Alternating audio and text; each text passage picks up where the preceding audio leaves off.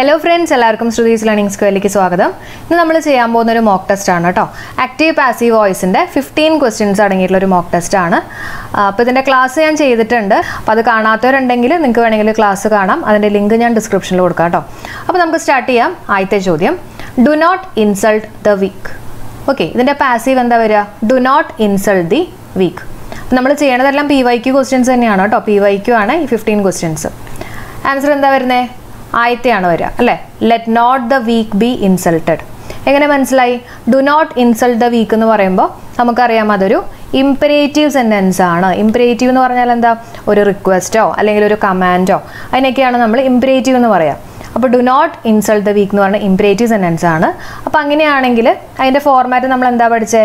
ഒരു ലെറ്റ് ഉണ്ടാവും പിന്നെ ഒബ്ജക്റ്റ് ഉണ്ടാവും പിന്നെ ബി ഉണ്ടാവും plus V three form of the verb ഇവിടെ നോക്കിയേ ലെറ്റ് ഉണ്ട് ഒബ്ജക്റ്റ് ഉണ്ട് ബി ഉണ്ട് V three form of the verb ഉണ്ട്. ഓക്കെ ഇതിനിടയിൽ ഒരു നോട്ട് വന്നിട്ടുണ്ട്. അതെന്തുകൊണ്ടാണ് നോട്ട് വന്നേ? ഇവിടെ do not insult the weak എന്നാണ് വന്നിട്ടുള്ളത് അല്ലേ? അപ്പോൾ അങ്ങനെ നോട്ട് കൊടുത്ത സ്ഥിതിക്ക് നമ്മുടെ മീനിങ് മാറാൻ പാടില്ല കേട്ടോ പാസീവിനകത്ത് അതുകൊണ്ടാണ് നമ്മളിവിടെ ഒരു നോട്ടും കൂടെ ചേർത്തത്. ഓക്കെ അപ്പോൾ let not the weak be insulted അപ്പോൾ ഒന്നല്ലെങ്കിൽ ഇവിടെ നമുക്ക് നോട്ട് ചേർക്കാം. അല്ലെങ്കിൽ ലെറ്റ് ദ വീക്ക് നോട്ട് ഇവിടെയും വേണമെങ്കിൽ നോട്ട് ചേർക്കാം കേട്ടോ. അപ്പോൾ നമുക്ക് ഏതാണോ ഓപ്ഷനിൽ കൊടുത്തിട്ടുള്ളത് അതനുസരിച്ചിട്ട് നിങ്ങൾ സെലക്ട് ചെയ്യാം. അപ്പോൾ കിട്ടിയല്ലോ? ഇനി നമുക്ക് അടുത്ത ചോദ്യം നോക്കാം. Who won the football match who won the football match answer എന്താ വരിക? വേഗം നോക്കിയിട്ട് ആൻസർ പറഞ്ഞേ. ഓക്കെ നമ്മുടെ answer രണ്ടാമത്തെയാണ്. Okay by whom was the football match won എങ്ങനെ ആൻസർ കിട്ടിയേ? ഈ ഹൂ വരുമ്പോൾ നമ്മൾ എങ്ങനെയായിരിക്കും പാസീവിൽ എങ്ങനെയാണ് സ്റ്റാർട്ട് ചെയ്യുക? ബൈ ഹൂം എന്ന് പറഞ്ഞിട്ടായിരിക്കും സ്റ്റാർട്ട് ചെയ്യുക. അല്ലേ? അപ്പോൾ തന്നെ നമുക്ക് ഈ രണ്ട് ഓപ്ഷൻസ് വെട്ടിക്കളയാം. ഇനി by whom was the football match won ആണോ? അല്ലെങ്കിൽ by whom is the football match won ആണോ?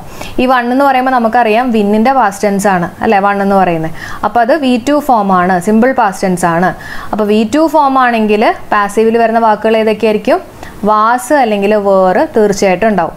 ഇനി ഇവിടെ നോക്കിയിട്ട് പറഞ്ഞാൽ ഏതായിരിക്കും നമ്മുടെ ആൻസർ ആയിട്ട് വരിക? വാസ് അല്ലേ? By whom was the football match won കിട്ടിയോ?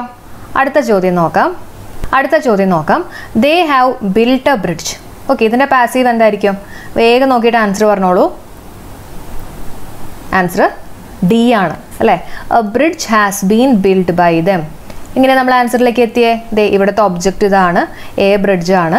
പിന്നെ ഹാവ് ഉണ്ടെങ്കിൽ ആക്റ്റീവ് വോയിസിന് ആക്റ്റീവിനകത്ത് ഹാസോ ഹാവോ ഹാഡോ ഉണ്ടെങ്കിൽ പാസീവിനകത്ത് എന്തായാലും ബീൻ ഉണ്ടാവും എന്നറിയാം അപ്പോൾ നമ്മൾ ഈ ഒരു ഓപ്ഷൻ എടുത്ത് മാറ്റി ഈ മൂന്ന് ഓപ്ഷനകത്തും ബീൻ ഉണ്ട്. പിന്നെ എല്ലാ കേസുകളിലും വി ത്രീ ഫോം ആയിരിക്കണം അല്ലേ? വെർബിന്റെ വി ത്രീ ഫോം ആയിരിക്കണം. അതായത് ഇപ്പോൾ ഗോ ആണെങ്കിൽ ഗോ വെന്റ് ഗോൺ ഈ ഗോൺ എന്ന് പറയുന്നതാണ് വി ത്രീ ഫോം ഇവിടെ എന്ത് ഫോമാ ഇത് വി വൺ ഫോമാ അപ്പോൾ ഇത് പറ്റില്ല. പിന്നെ ഇത് വി ത്രീ ഫോമാ ഇനി ഇത് രണ്ടും നമുക്ക് ചെക്ക് ചെയ്യാം. ഇവിടെ എ ബ്രിഡ്ജ് ഹാവ് ആണ്. എ ബ്രിഡ്ജിന്റെ ഒപ്പം നമ്മൾ ഹാവ് യൂസ് ചെയ്യോ? ഇല്ല. കാരണം എ ബ്രിഡ്ജ് എന്ന് പറഞ്ഞാൽ സിംഗുലറാ അപ്പോൾ ഇതും പറ്റില്ല. നമ്മുടെ ആൻസർ ഡി ആണ്. A bridge has been build by them അടുത്ത ചോദ്യം നോക്കാം. ദേ ഹാവ് ഡൺ ഇറ്റ് ഇതിന്റെ പാസീവ് ഫോം എന്തായിരിക്കും? ദേ ഹാവ് ഡൺ ഇറ്റ് വേഗം നോക്കിയിട്ട് ആൻസർ പറഞ്ഞോളൂ. ആൻസർ സി ആണ്. അല്ലേ? എങ്ങനെ കിട്ടിയേ? ഈ ഹാവ് ഹാസ് ഹാഡ് നമ്മൾ നേരത്തെ പറഞ്ഞ പോലെ ഉണ്ടെങ്കിൽ പാസീവിനകത്ത് ഏത് വാക്കുണ്ടാവും? ബീൻ എന്ന് പറഞ്ഞിട്ടുള്ള വാക്കുണ്ടാവും. അപ്പോൾ നമുക്കിവിടെ നോക്കാം. ബീൻ ഇല്ലാത്ത ആൾക്കാരെയൊക്കെ നമുക്കങ്ങ് വെട്ടിക്കളയാം കേട്ടോ. അപ്പോൾ ഇത് മാറ്റി ഇത് മാറ്റി. അപ്പോൾ ഒന്നല്ലെങ്കിൽ ഇറ്റ് ഹാവ് ബീൻ ഡൺ അല്ലെങ്കിൽ it has been done it എന്ന് പറഞ്ഞാൽ സിംഗുലർ അല്ലേ? പിന്നെ അതിന് മുമ്പിൽ നമുക്ക് ഹാവ് യൂസ് ചെയ്യാൻ പറ്റുമോ? ഇല്ല. അപ്പോൾ ഇത് നമുക്ക് ക്യാൻസൽ ചെയ്യാം. നമ്മുടെ answer it has been done ആണ് കേട്ടോ. അഞ്ചാമത്തെ ചോദ്യം. ബ്രൂട്ടസ് സ്റ്റാപ്ഡ് സീസർ ഇതിന്റെ പാസീവ് എന്താ വരിക? ബ്രൂട്ടസ് സ്റ്റാപ്ഡ് സീസർ സ്റ്റാപ്ഡ് കണ്ടപ്പോൾ മനസ്സിലായി വി ടു ആണ്. അല്ലേ? വേഗം ആൻസർ പറഞ്ഞോളൂ. നമ്മുടെ ആൻസർ ബി ആണ്. Caesar was stabbed by Brutus എങ്ങനെ കിട്ടിയ ആൻസർ ഇവിടുത്തെ ഒബ്ജക്റ്റ് നമ്മുടെ ഇവിടുത്തെ സബ്ജക്റ്റായിട്ട് മാറി. പിന്നെ വി ടു ഫോം ആണെങ്കിൽ നമ്മുടെ ആൻസറിനകത്ത് എന്തുണ്ടാവും? വാസ് അല്ലെങ്കിൽ വേർ ഉണ്ടാവും. ഇതൊക്കെ നമ്മൾ ക്ലാസ്സുകളിൽ പഠിപ്പിച്ചിട്ടുള്ളതാണ് കേട്ടോ. വാസ് അല്ലെങ്കിൽ വേർ ഒറ്റയടിക്കാൻ ആൻസർ കിട്ടിയില്ല? ഇവിടെ വാസ് ഇരിപ്പുണ്ട്. അപ്പോൾ Caesar was stabbed by Brutus ആറാമത്തെ ചോദ്യം. The wood cutter chop down the tall tree okay ഇതിന്റെ പാസീവ് ഫോം പറയാനാണ് പറഞ്ഞിട്ടുള്ളത്. The wood cutter chopped down the tall tree അപ്പോൾ ചോപ്ഡ് ഇ ഡി ഉണ്ട് നമുക്ക് മനസ്സിലായി വി ടു ഫോമാണ് വി ടു ഫോം ആണെങ്കിൽ നമ്മുടെ ആൻസറിൽ എന്തുണ്ടാവും? വാസ് അല്ലെങ്കിൽ വേർ ഉണ്ടാവും. അങ്ങനെയാണെങ്കിൽ നമ്മുടെ ആൻസർ എന്തായിരിക്കും? ഇവിടെ വേഗം നോക്കിയിട്ട് പറഞ്ഞാൽ വാസ് അല്ലെങ്കിൽ വേറെ എവിടെയല്ലേ? ഓപ്ഷൻ സി ആണ് അല്ലേ?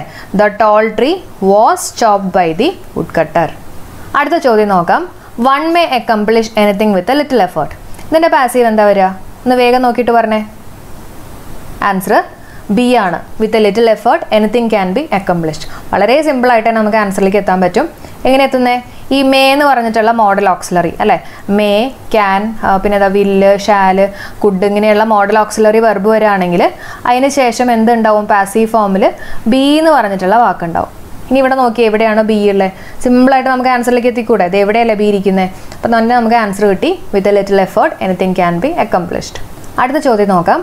The workers build a bridge built നമ്മൾ നേരത്തെ പറഞ്ഞാണെന്ന് തോന്നുന്നു. ടി ആണ് അല്ലേ? അപ്പം ടി ആണെങ്കിൽ പാസ്റ്റ് ടെൻസ് ആണ്. പാസ്റ്റ് ടെൻസ് ആണെങ്കിൽ പാസീവിനകത്ത് വോസ് അല്ലെങ്കിൽ വേർ ആയിരിക്കും ഉണ്ടാവുക. നോക്കിക്കോളൂ. ഇതിനകത്ത് വോസ് ഉള്ള ഓപ്ഷൻ ഏതാ? സി ആണ്. അപ്പോൾ bridge was build by the workers and important news was being edited by the editor അല്ലേ? ഓപ്ഷൻ ഡി ആണ്. എങ്ങനെയാണ് കിട്ടിയേ? ദേ ഇവിടെ ആൻ ഇമ്പോർട്ടന്റ് ന്യൂസ് വെച്ചിട്ട് തന്നെ സ്റ്റാർട്ട് ചെയ്തിട്ടുണ്ട്. അപ്പോൾ തന്നെ നമുക്ക് ഈ ഒരു ഓപ്ഷൻ എടുത്ത് മാറ്റാം. പിന്നെ ഐ എൻ ജി ഉണ്ടെങ്കിൽ ആക്റ്റീവിനകത്ത് ഐ എൻ ജി ഉണ്ടെങ്കിൽ പാസീവിനകത്ത് എന്തുണ്ടാവും? ഐ എൻ ജി ഉള്ള ബീയിങ് ഉണ്ടാവും അല്ലേ? ബീയിങ് ഉണ്ടാവും. അപ്പോൾ തന്നെ നമുക്ക് ആൻസർ കിട്ടിയല്ലോ ഓപ്ഷൻ ഡി ആണ്. An important news was being third form edited by the editor അടുത്ത ചോദ്യം നോക്കാം. The man fed the girl the man fed the girl വേഗം ആൻസർ പറഞ്ഞേ. ആൻസർ സി ആണ്. എന്താ ആൻസർ വരിക? The girl was fed by the man ആണ് അല്ലേ? The girl was fed by the man എങ്ങനെ കിട്ടി? ഫെഡ് എന്ന് പറയുന്നത് വി ടു ഫോമാ നമ്മുടെ ഫീഡിന്റെ പാസ്റ്റ് ടെൻസ് ആണ് ഫെഡ് എന്ന് പറയുന്നത്. അപ്പോൾ വി ടു ഫോം ആണെങ്കിൽ പാസീവിനകത്ത് വോസ് അല്ലെങ്കിൽ വേറെ ഉണ്ടാവും. ഇവിടെ ഓപ്ഷൻ നോക്കിക്കോളൂ. ഇത് ഇവിടെ വോസ് ഉണ്ട്. ഇത് തെറ്റാണ് ഇത് തെറ്റാണ്. അപ്പോൾ ഒന്നല്ലെങ്കിൽ ഇത് അല്ലെങ്കിൽ ഇത്. അല്ലേ? പിന്നെ ഇവിടുത്തെ ഒബ്ജക്റ്റ് ആയിരിക്കണം ഇവിടുത്തെ സബ്ജക്റ്റ് ആയിട്ട് വരണ്ടേ. അപ്പോൾ എന്താ ആൻസർ വരേണ്ടത്? Girl was fed by the man പതിനൊന്നാമത്തെ ചോദ്യം. They will discuss the matter soon വേഗം ആൻസർ പറഞ്ഞ പാസീവ് വോയിസ് സിമ്പിളായിട്ട് നമുക്ക് ആൻസർ കിട്ടും. ഓപ്ഷൻ ബി ആണ് അല്ലേ? ലെവൻ ബി ആണ്. അപ്പം എങ്ങനെ ആൻസർ കിട്ടിയത് matter will be discuss soon by them എങ്ങനെ കിട്ടി? ഈ വില്ല് ഷാൽ ക്യാൻ മേ മൈറ്റ് എന്ന് പറഞ്ഞിട്ടുള്ള മോഡൽ ഓക്സിലറി വെർബ് വരാണെങ്കിൽ പാസീവിനകത്ത് ഏത് കീവേഡ് ഉണ്ടാവും? ബി എന്ന് പറഞ്ഞിട്ടുള്ള കീവേഡ് ഉണ്ടാവും. നാല് ഓപ്ഷൻ നോക്കി. ഇതേ ഇവിടെ മാത്രമേ ബി ഉള്ളൂ. അപ്പോൾ തന്നെ നമുക്ക് ആൻസർ കിട്ടി. The matter will be discuss soon by them twelfth one നോക്കാം. Did she write a story ഇതൊരു ക്വസ്റ്റ്യൻ ആണ്. Did she write a story ഇതിന്റെ പാസീവ് പറഞ്ഞോളൂ. എന്തായിരിക്കും ഇതിന്റെ പാസീവ് വരുന്നത് ആൻസർ ബി ആണ്. Okay was a story written by her was a story written by her എങ്ങനെ നമ്മൾ ആൻസറിലേക്ക് എത്തിയെന്നുള്ളത് നോക്കാം. ഈ ഡിഡ് എന്നുള്ള കീവേഡ് കാണുമ്പോൾ നിങ്ങൾക്കറിയാം അല്ലേ? നമ്മുടെ ആൻസറിനകത്ത് ഒന്നല്ലെങ്കിൽ വാസ് അല്ലെങ്കിൽ വേർ ഉണ്ടാവും. ഓക്കെ ഇനി ഇവിടെ നോക്കിക്കോളൂ. ഇവിടെ വോസും വേറൊന്നുമില്ല അപ്പം തന്നെ നമുക്ക് ഇത് രണ്ടും ക്യാൻസൽ ചെയ്യാം. അപ്പോൾ ഒന്നല്ലെങ്കിൽ was story wrote by her അല്ലെങ്കിൽ was story written by her നമുക്കറിയാം പാസീവിനകത്ത് എപ്പോഴും എന്താ ഉണ്ടാവുന്നത് V three form of the വെർബാണ് അല്ലേ? അപ്പോൾ അങ്ങനെയാണെങ്കിൽ റോട്ട് പറ്റുമോ ഇല്ല. അപ്പോൾ ഇത് നമുക്ക് ക്യാൻസൽ ചെയ്യാം. അപ്പോൾ നമ്മുടെ ആൻസർ എന്താ? Was story written by her thirteenth question നോക്കാം. Has she answered the questions ഇതൊരു ക്വസ്റ്റ്യൻ ആണ്. ഇതിന്റെ പാസീവ് ഫോം എന്താണ്? നാല് ഓപ്ഷൻസ് നോക്കിയിട്ട് വേഗം ആൻസർ പറഞ്ഞു തന്നെ has she answer the questions answer വരുന്നത് ഓപ്ഷൻ ബി ആണ്. Have the questions been answered by her എങ്ങനെ നമ്മൾ ഈ ഒരു ആൻസറിലേക്ക് എത്തിയേ? അപ്പോൾ ക്വസ്റ്റ്യനകത്ത് ഹാസ് ഉണ്ടെങ്കിൽ നമ്മൾ എന്താ പഠിച്ചിട്ടില്ല പാസീവിനകത്ത് എന്തായാലും ബീൻ എന്ന് പറഞ്ഞിട്ടുള്ള വാക്കുണ്ടാവും. അല്ലേ? നമ്മൾ പഠിച്ചിട്ടില്ലേ? ഹാസ് ഹാവ് ഹാഡ് വന്നു കഴിഞ്ഞാൽ പാസീവിനകത്ത് ബീൻ ഉണ്ടാവും. പക്ഷെ നമ്മുടെ കഷ്ടകാലത്തിന് ഈ കൊടുത്തിട്ടുള്ള നാല് ഓപ്ഷനകത്തും ബീൻ ഉണ്ട്. അപ്പോൾ അങ്ങനെ നമുക്ക് ആൻസറിലേക്ക് എത്താൻ പറ്റില്ല. പിന്നെ എങ്ങനെ എത്തും? അപ്പോൾ ഒരു ക്വസ്റ്റ്യൻ ആണെങ്കിൽ പാസീവിനകത്ത് എങ്ങനെ സ്റ്റാർട്ട് ചെയ്യണം? ഒരു ഓക്സിലറി വെർബ് വെച്ചിട്ട് തന്നെ സ്റ്റാർട്ട് ചെയ്യണം. ഓക്കെ സബ്ജക്റ്റ് വെച്ചിട്ട് സ്റ്റാർട്ട് ചെയ്ത ഒരു ക്വസ്റ്റ്യൻ ആവില്ല. അപ്പോൾ ഇവിടെ നോക്കിയേ ഷീ വെച്ചിട്ടാണ് സ്റ്റാർട്ട് ചെയ്തിട്ടുള്ളത്. സബ്ജക്റ്റ് വെച്ചിട്ടാണ് സ്റ്റാർട്ട് ചെയ്തിട്ടുള്ളത്.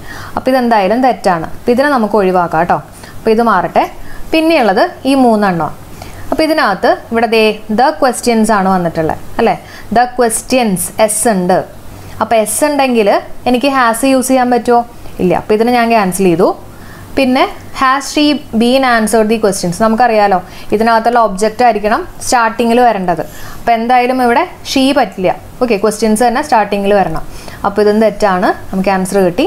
Have the questions been answered by her പതിനാലാമത്തെ question is English spoken by her ഇത് പാസീവ് ആണ് കേട്ടോ. ഇങ്ങനെ മനസ്സിലായത് പാസീവ് ആണെന്ന് കണ്ടോ? ഇവിടെ ബൈ ഹെർ എന്ന് പറഞ്ഞ് കൊടുത്തിട്ടുണ്ട്. അപ്പോൾ is English spoken by her ഇതിന്റെ ആക്റ്റീവ് വോയിസ് ആണ് നമ്മൾ കണ്ടുപിടിക്കേണ്ടത്. ഈ കൊടുത്തിട്ടുള്ള നാല് ഓപ്ഷനകത്ത് ആക്റ്റീവ് വോയിസ് ഏതാണെന്നുള്ളത് കണ്ടുപിടിക്കാം. സിമ്പിളായിട്ട് കണ്ടുപിടിക്കാമല്ലോ ഒന്ന് ആലോചിച്ച് നോക്കിയേ. എന്താ ആൻസർ വരുന്നത് എ ആണ്. ഡസ് ഷീ സ്പീക്ക് ഇംഗ്ലീഷ് എങ്ങനെ കിട്ടി? ഇവിടെ കണ്ടോ? ഇസ് എന്നുള്ള വാക്ക് കണ്ടല്ലോ. അപ്പോൾ നമ്മൾ പഠിച്ചിട്ടുണ്ട് ഡൂ അല്ലെങ്കിൽ ഡസ് ആക്റ്റീവിനകത്ത് ഡൂ അല്ലെങ്കിൽ ഡസ് വന്നു കഴിഞ്ഞാൽ പാസീവിനകത്ത് എന്താ വരിക? എസ് അല്ലെങ്കിൽ ആറ് അല്ലെങ്കിൽ ആം ഈ ഒരു കീവേർഡ് ഉണ്ടാവും എന്തായാലും. അല്ലേ? അപ്പോൾ ഇവിടെ പാസീവിനകത്ത് എസ് ഉണ്ട്. പാസീവിനകത്ത് എസ് ഉണ്ടെങ്കിൽ ആക്റ്റീവിനകത്ത് ഒന്നല്ലെങ്കിൽ ഡൂ അല്ലെങ്കിൽ ഡസ് ഉണ്ടാവണമല്ലോ. അപ്പോൾ ഇവിടെ കൊടുത്തിട്ടുള്ള നാല് ഓപ്ഷനകത്തും ഇത് ഇവിടെയാണ് ഡസ് ഉള്ളത്. ഇതാണ് നമ്മുടെ answer does she speak English ഇത് നമ്മുടെ last question he will certainly help the poor boy ഇതിന്റെ പാസീവ് എന്താ വരിക? വേഗം നോക്കിയിട്ട് പറഞ്ഞേ. ഒറ്റയടിക്ക് ഉത്തരം കിട്ടും. ആൻസർ ബി ആണ്. അല്ലേ? The poor boy will be help by him എങ്ങനെയാണ് നമ്മൾ ഈ ഒരു ആൻസറിലേക്ക് എത്തിയേ? ഇവിടെ കണ്ടോ ആക്റ്റീവ് വോയിസിനകത്ത് വില്ലുണ്ട് അല്ലേ? അപ്പോൾ വില്ല് ഷാൽ ക്യാൻ മേ മൈറ്റ് എന്ന് പറഞ്ഞിട്ടുള്ള മോഡൽ ഓക്സിലറി വെർബ് ഉണ്ടെങ്കിൽ പാസീവിനകത്ത് ഒരു കീവേഡ് ഉണ്ടാവുമല്ലോ. എന്താ അത്? ബി എന്ന് പറഞ്ഞിട്ടുള്ള കീവേഡ് ഉണ്ടാവും. അപ്പോൾ നമ്മളിവിടെ നാല് ഓപ്ഷൻ നോക്കി കഴിയുമ്പോൾ ഇവിടെ ഒരു ബി ഉണ്ട് അതുപോലെ തന്നെ ഇവിടെയും ഒരു ബി ഉണ്ട്. അപ്പോൾ ഒന്നല്ലെങ്കിൽ ഇത് അല്ലെങ്കിൽ ഇതായിരിക്കും ആൻസർ അപ്പോൾ നമുക്ക് ഇത് രണ്ടും ക്യാൻസൽ ചെയ്ത് കളയാം കേട്ടോ. ഇനി ശ്രദ്ധിച്ചോളൂ. The poor boy will be help by him ആണോ? അല്ലെങ്കിൽ the poor boy would be help by him ആണോ? നമ്മൾ ആക്റ്റീവ് പാസീവ് പഠിച്ചപ്പോൾ സ്റ്റാർട്ടിങ്ങിൽ പറഞ്ഞിട്ടുള്ള ഒരു കാര്യമുണ്ട്. ഇതിനകത്ത് ടെൻസ് മാറാൻ പാടില്ല. ഇല്ല ടെൻസ് സെയിം ആയിരിക്കണം. അപ്പോൾ ഇവിടെ വില്ലാണെങ്കിൽ ഇവിടെയും വില്ല് തന്നെയായിരിക്കണം. അല്ലാതെ വുഡ് ആക്കാൻ പറ്റില്ല കേട്ടോ. അപ്പോൾ അതുകൊണ്ട് ഇത് നമുക്ക് എലിമിനേറ്റ് ചെയ്യാം. നമ്മുടെ ആൻസർ എന്താ? The poor boy will be help by him okay അപ്പോൾ നമ്മുടെ മോക്ക് ടെസ്റ്റ് ഇവിടെ വെച്ച് അവസാനിച്ചിരിക്കുകയാണ്. ഫിഫ്റ്റീൻ ക്വസ്റ്റ്യൻസ് ആണ് നമ്മൾ ഡിസ്കസ് ചെയ്തിട്ടുള്ളത് അപ്പോൾ തീർച്ചയായിട്ടും നിങ്ങൾക്ക് കിട്ടിയിട്ടുള്ള മാർക്സ് ഒന്ന് കമന്റ് ചെയ്യുക കേട്ടോ മറക്കല്ലേ? അതേപോലെ തന്നെ ഇപ്പം ഞാൻ പഠിപ്പിച്ചിട്ടുള്ള കാര്യങ്ങൾ നിങ്ങൾക്ക് മനസ്സിലാവുന്നില്ലെങ്കിൽ അതിന്റെ ക്ലാസ് ആയിട്ട് ഞാൻ ചെയ്തിട്ടുണ്ട്. അതിന്റെ ലിങ്ക് ഞാൻ ഡിസ്ക്രിപ്ഷനിൽ കൊടുക്കാം. അപ്പോൾ അതും കൂടെ കാണുക. പിന്നെ നമ്മുടെ ഈ ചാനൽ നിങ്ങൾക്ക് യൂസ്ഫുൾ ആയിട്ട് തോന്നുന്നുണ്ടെങ്കിൽ തീർച്ചയായിട്ടും നിങ്ങൾക്ക് അറിയുന്ന നിങ്ങളുടെ ഫ്രണ്ട്സോ അല്ലെങ്കിൽ പി എസ് സി പഠിക്കുന്ന ആരെങ്കിലും ഒക്കെ ഉണ്ടെങ്കിൽ അവർക്കൊക്കെ ഒന്ന് ഫോർവേഡ് ചെയ്യുക. അതേപോലെ തന്നെ ക്ലാസ് യൂസ്ഫുൾ ആയിട്ട് തോന്നിയിട്ടുണ്ടെങ്കിൽ തീർച്ചയായിട്ടും ലൈക്ക് ചെയ്യുക കമന്റ് ചെയ്യാൻ മറക്കണ്ട കേട്ടോ. അപ്പോൾ നമുക്ക് അടുത്ത വീഡിയോയിൽ കാണാം. എല്ലാവർക്കും